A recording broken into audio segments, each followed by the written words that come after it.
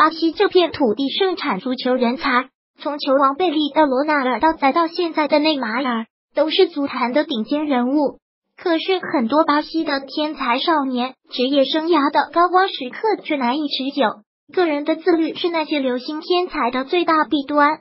前有罗纳尔多的接班人埃德里亚诺堕落到住贫民窟，最让人意外的就是被称为新贝利的球星罗比尼奥，刚出道时比内马尔还要演，最终堕落到被意大利法院判决入狱九年。可是现在的罗比尼奥并未受判决所影响。依然踢着球，只因巴西一条法律拯救了他的人生。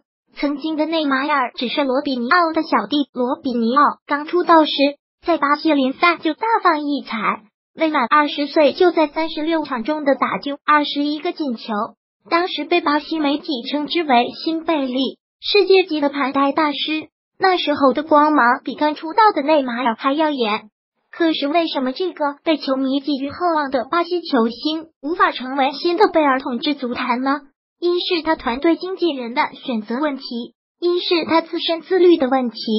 罗比尼奥加盟皇马的时候，皇马就把他定义为球队的救世主，因为那时候的齐达内已经接近退役，贝克汉姆也不是巅峰时期，罗纳尔多也伤病频发，这样的皇马球队。正处于青黄不接的时代，那时的巴萨正处于罗尔迪尼奥巅峰时期，梅西也正在崛起。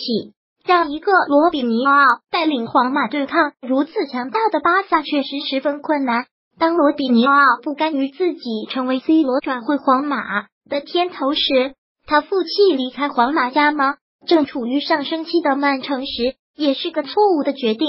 那时候的曼城没实力挑战英超的 Big 四球队。没有优秀队友的支持，罗比尼奥也无法成为一个超级巨星。